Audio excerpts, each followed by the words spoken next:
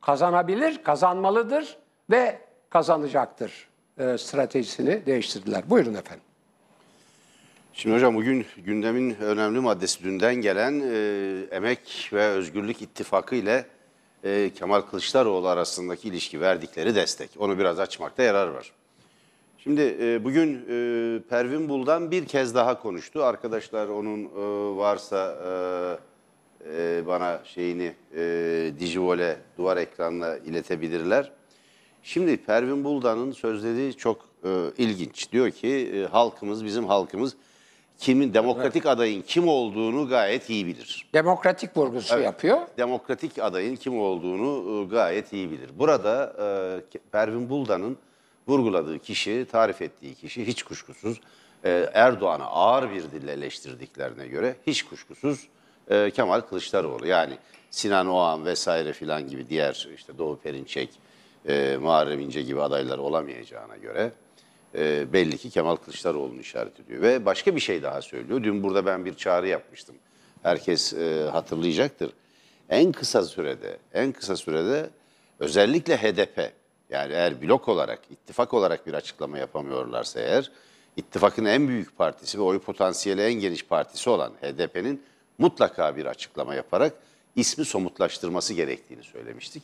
Nitekim o da ismi e, somutlaştıracağını söyledi. Şimdi evet şu anda duvar ekranımızda var. Tam ekran verebilirsiniz arkadaşlar. Sonra çekersiniz. Başımıza geliyor. Evet şu an en demokrat aday hangisi ise halkımız onu biliyor diyor. Evet alabiliriz arkadaşlar yine tekrar bize verebilirsiniz. Ee, bu açıklamanın bir önemi var. Bu açıkça e, Kemal Kılıçdaroğlu'nu işaret ediyor. Zaten benim bir sol bir çocukluk hastalığı olarak, bir sol çocukluk hastalığı olarak nitelediğim yani utangaç bir destek, yani politik tavır, e, açık tavır koymak konusundaki tereddütler, siyasi cesaret yoksunluğundan başka bir anlam taşımaz. Hep e, söylediğim gibi severim de o deyimi. Hem çamurda oynayayım hem cicilerim kirlenmesin diyemezsiniz. E, siyaset cesaret ister hele devrimcilik. Evet yani kirlenme cesaretini göstermek demektir. Dolayısıyla e, Emek ve Özgürlük Bloku özellikle de HDP içinde HDP ve Türkiye İşçi Partisi e, Emek Partisi gibi partiler var. Bunlar önemli. Özellikle HDP çok önemli. 6,5 milyona yakın bir oy potansiyeli olan e, partiden söz ediyoruz. Eğer e, HDP'nin desteği, açık desteği ortaya çıkarsa e, ki çıktığı Çık. düşünüyoruz, böyle varsayıyoruz. E, ilk turda, ilk turda ve açık ara farklı bir biçimde e, AKP'nin merkezinde olduğu dinci faşizan ittifak, blok ağır bir yenilgiye uğrayacak. Ağır bir yenilgiye uğrayacak. Ve Türkiye yeniden normallerine dönecek. Bakın Antır parantez bir daha belirteyim. Erdoğan'ın gitmesiyle bütün dertlerimiz çözülmeyecek. Hayat bayramı olmayacak. Ama Türkiye normalleşecek. Türkiye yeniden demokratik hak ve özgürlüklerin yürürlüğe girdiği bir ülke haline gelecek. Bir asgari hukuk devleti olacak. Bırakın asgari demokrasi olsun. Şu anda Türkiye bir diktatörlüğe doğru sürükleniyor. Diktatörlüğe doğru sürüklenen bu ülkede dur demek. Bunu durdurmak, bu gidişi durdurmak gerekiyor. Temel temel görev bu, tarihsel görev bu. Bu ülkenin aydınlarının, bu ülkenin demokratlarının, bu ülkenin solunun, bu ülkenin yurtseverlerinin, halkının, yurttaşlarının esaslı görevi budur. Dolayısıyla bir aydın mesleği olan gazeteciler de demokratik hak ve özgürlüklerden yana olurlar. Bakın şöyle bir tarafsızlık hayatta yok. Diktatörlükle demokrasi arasında tarafsız olunabilir yok mi? Yok canım. Şey olur mu? Zalimle mazlum arasında tarafsız olunabilir mi? Hiçbir hakem, hiçbir Tabii, yargıç tabii. tarafsız değildir Tabii, ki. tabii. Taraftır. Aydınlıkla karanlık Tabii. arasında tarafsız olunabilir mi? Özgürlükten yana tarafız. Yani e, dinci, faşizan bir diktatörlük ya da bir totaliter rejimle bir hukuk devlet arasında tarafsız Hiç olunabilir mi? söz konusu. Dolayısıyla bizim böyle bir taraf olduğumuzu biz başından ilan ettik. Bu temel bir gazetecilik tavrıdır. Haberlerimiz objektiftir. Haberlerimizin tarafsızlığı ve nesnelliği konusunda hiçbir tereddütümüz yoktur. Bunun tartışılmasına dahi izin vermeyiz. Dolayısıyla e, şu çok önemli. Emek ve Özgürlük Bloğu neden yana olduğunu açıkça ilan edecek. Tercih ettiği yan bütün ihtiyaçlarını, bütün taleplerini ve bütün beklentilerini karşılamıyor olabilir. Zaten bir ittifak, zaten bir uzlaşmadan söz ediyoruz. Bir ortak hareketten söz ediyoruz. Ben Türkiye'de hocam çok önemli bir tarihsel dönemecin yaşandığını düşünüyorum. Türkiye'nin Cumhuriyet'in birinci yüzyılını başlatan Kuvayi Milliye'dir. Kuvayi Milliye de benzer bir ittifak yelpazesine sahiptir. Benzerdir.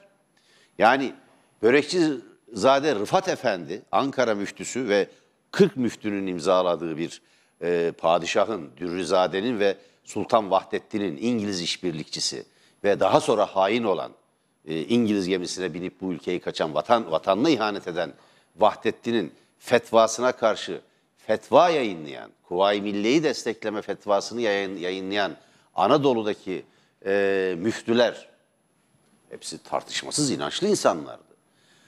O mücadelede Halk İştirakiyun Fırkası vardı, komünistti bunlar. O mücadelede yurtseverler vardı. O mücadelede ittihatçılar, Jön Türkler vardı. O mücadelede Nene Hatun vardı. O mücadelede meçhul asker vardı. O mücadelede Seyit Onbaşıların soyundan gelen bu Anadolu çocukları, Rumeli çocukları vardı. Şimdi birinci yüzyılı başlatan buydu. Geniş bir yelpazedir o yelpaze. Geniş bir ittifak yelpazesidir. Meclisteki birinci grup, ikinci grup, e, iştirakiyuncular bunlar meclisteydi. Buna benzer bir ittifak e, söz konusu. Bu bakımdan önemli bu. Yani bir tarafında Saadet Partisi'nin bir tarafında TKP'nin olduğu geniş bir yelpazeden söz ediyoruz. Dolayısıyla burada bir tereddüte yer yok. O bakımdan benim dünkü kaygım şuydu hocam. Ee, bir e, açık bir e, tavır e, deklare etmeden e, bu böyle bırakılırsa, bir belirsizlik ortamı yaratılırsa o belirsizlik ortamı her türlü müdahaleye ve operasyona açık demektir. Buna izin vermemek lazım. Yani iktidar işte İmralı'dan, e, İmralı üzerinden bazı hesaplar yapıyor. Bu hesapların boşa çıkacağına inanıyorum ben. Boşa çıkacağını düşünüyorum. Ama başka şeyler var. Bakıyorsunuz e, Kürt nasyonalistleri diye bir grup çıkıyor. E, Nevruz etkinliğinde Diyarbakır'da eşcinselleri dövüyor, tip kortejine saldırıyor. Şimdi e, böyle bir coğrafyada yaşıyoruz. Sadece Türk nasyonalistleri yok.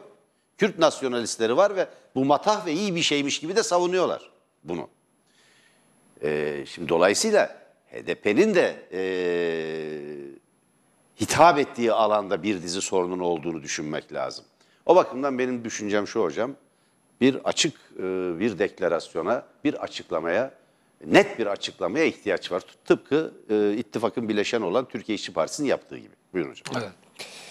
Evet tabii şimdi e, değerli izleyiciler e, bu siyaset çok zor bir iş. E, çok aleyhinde konuşmak istemiyorum politikacıların.